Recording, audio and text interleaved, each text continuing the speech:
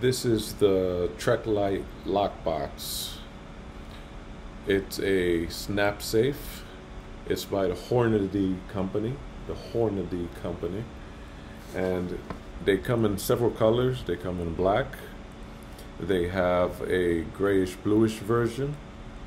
And they also have this peanut butter tan desert color that I am holding here in front of me.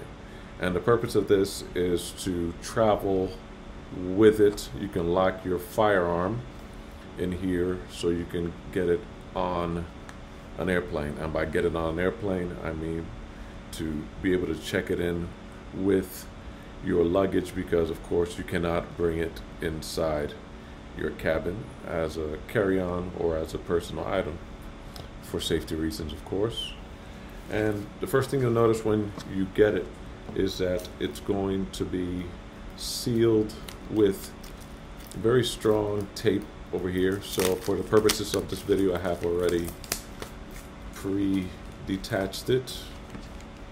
And let's open it. So this is an unboxing as well as a spotlighting of this product. And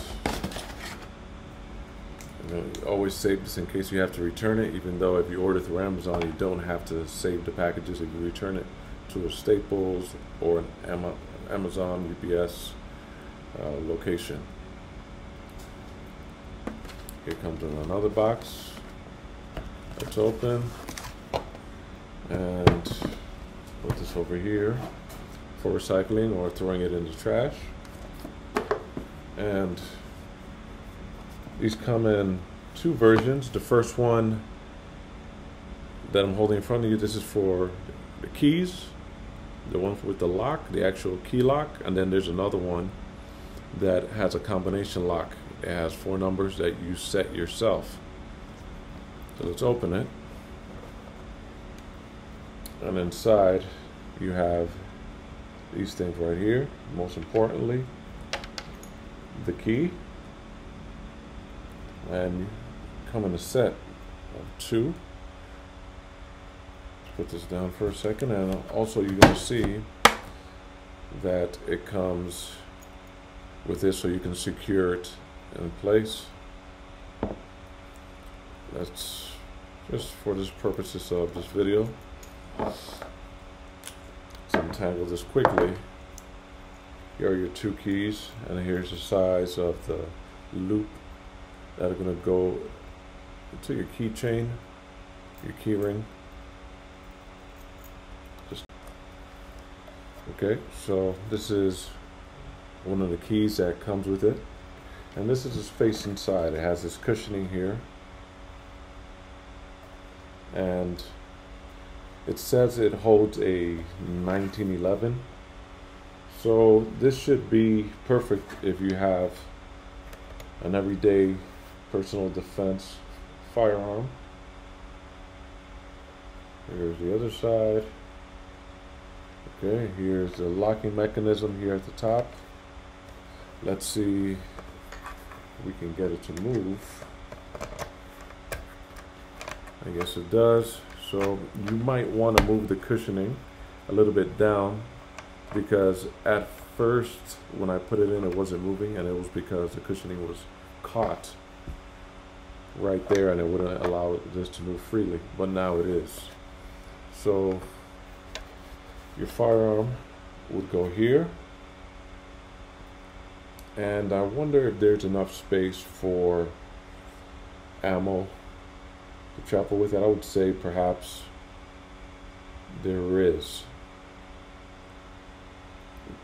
Maybe one or two extra magazines could fit here for example, if we have a Glock firearm, Glock 19, and reading from the back of the box, uh, of course, we already saw it comes with two keys. It's uh, has a foam lining to keep it from scratching your firearm and it includes a 1500 pound rated patented security cable with sturdy cable connector that doesn't limit the interior space and they're talking about this. Okay and what you would do is have space for it here. Right there. On the side in which you can attach this to it. So you can secure you can fasten it. So it won't be mobile if you desire to leave it someplace. So that's the key. Closing it right there. And remember I told you the foam gets in the way? Right now it's not turning and it's because I told you the foam gets in the way. So what we want to do, you want to take care of that before you actually go out and have to use it. So what I'm going to do is I'm going to push it down here. And the other thing I'm going to do is remove all of the tape that's around here. Close it.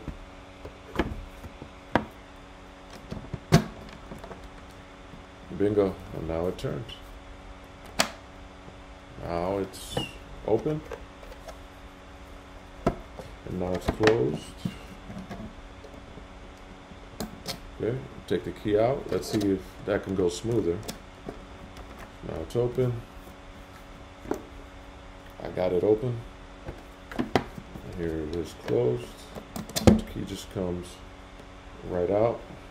See if we can do it. Remember, this is going to be in your keychain. So you want to, if you have a lot of keys, you might want to paint this one with a brighter color so you know exactly which is the one that you need to open this immediately because just having this black plastic over here can blend in with your other keys. So uh, you know every second counts. And so you want to be able to uh, distinguish this key from the, the others. So you go like that turn it and get it open. You might want to practice it a few times the other model of this is a combination lock, which has four numbers that you reset on the inside of this. This is not that model, but if you had the combination lock, what you would do is once you get it open, the first thing when you get it, to, the numbers are automatically going to be set by default or supposed to be to all to all zeros. So if you have the four combination lock of this this of this model, the combination will be zero zero zero zero zero zero zero zero four zeros. You get it open, and then it has a tab that you move from A to B. It's going to be by default on A. You move it to B. You set your own combination, and you send send it back to set it back to A, and then you close it. That's if you have the combination lock, but this is not this model. Ladies and gentlemen, I want to tell you I had the combination lock. I had to return it. I returned it for this purpose. I returned it because when I received it, the default code was not working. And uh, I didn't want to mess with it. I did everything I could. It has a knob that you can open it with, but the default lock was not working, which means possibly that it's a it came like that from the manufacturer, or they sent me a, a, a used model, a used product, and of course, you know, if someone has it before you, you don't know why they returned it. They'll re, they'll check it when they return it for defects in the mechanism, but also many times they don't check it to see if the default combination actually is set to the default combination. So I had to return it, and I ordered this one with the key.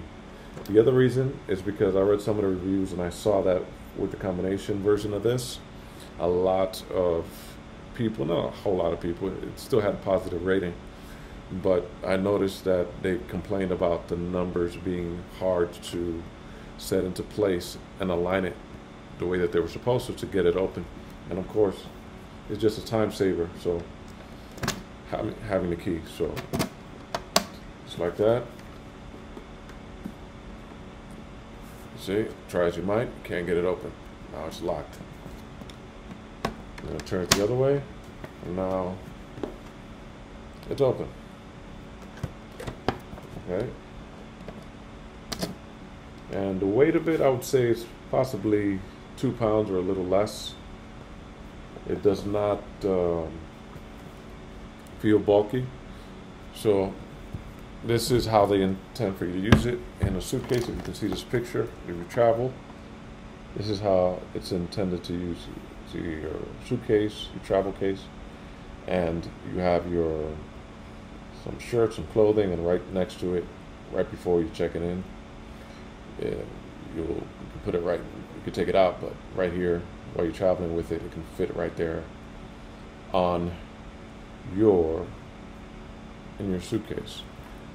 Purpose for this is why to travel, so it's TSA friendly. But of course, they recommend that you check the TSA rules in your state in your airport because every place has different laws.